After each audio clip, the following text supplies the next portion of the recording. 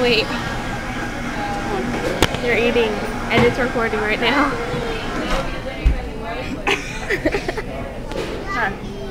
Start Starbucks adventure on Friday mornings.